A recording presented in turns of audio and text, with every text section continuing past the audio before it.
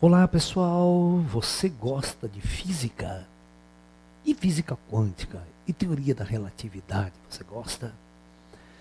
Hoje, o top line da ciência moderna né, é ir para a fronteira do conhecimento humano. Hoje, os grandes cientistas estão já né, falando em outros universos, outras dimensões da realidade.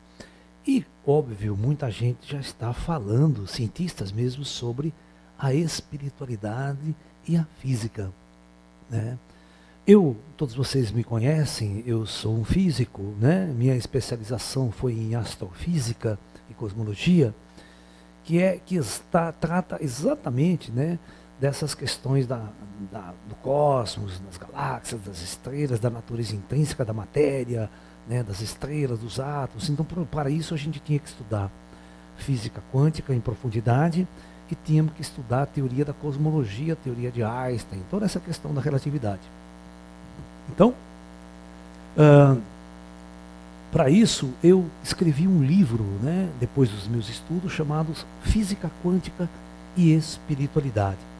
Então, tem alguns físicos que já estão trabalhando nesta ponte entre ciência e espiritualidade. E a física quântica, ela abre algumas portas para a gente poder estar realmente discutindo essa questão de onde matematicamente, cientificamente, a gente pode abrir a porta para a espiritualidade.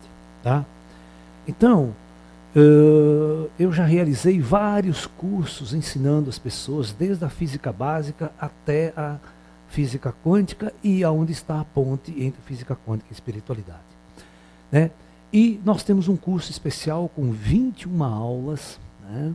Olha, são 21 aulas, tem uma apostila que acompanha também esse curso, e você pode a, comprar, adquirir ele e assistir a hora que você quiser e estudar em casa, né? para entender o top line da física moderna, né?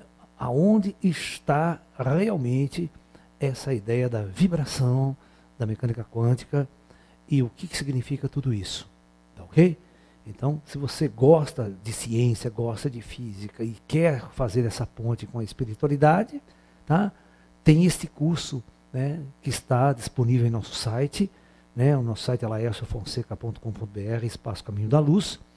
E você vai estar aprendendo as fronteiras do conhecimento humano dentro da física moderna. Ok? Então, feito o convite, tá? Espero você lá. Namastê.